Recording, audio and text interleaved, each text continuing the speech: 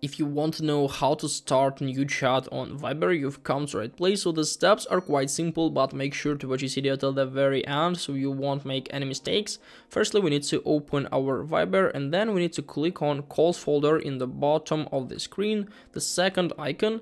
And as you can see, we have a couple of options to interact with our contacts. For example, we can click on it and we have a couple of options here. We can use a free call or send message. If you want to start a chat, you can just simply click on send message.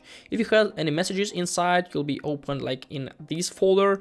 And if you don't have, your chat will be totally empty and you'll be able to start it from scratch, basically something like this.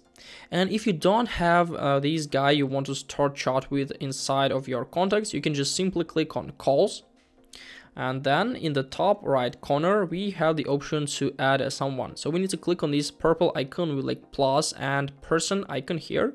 We'll come to this page where we can easily click on uh, like enter number. And here we need to enter his number. He's like um, registered in Viber or something like this.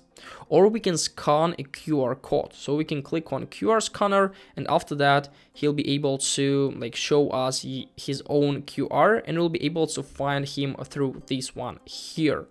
And it's definitely the best way. After that, he'll appear inside of the list in your contacts or you can just name him somehow. And after that, you can just simply click click on send message and we'll be able to send a message from this page here.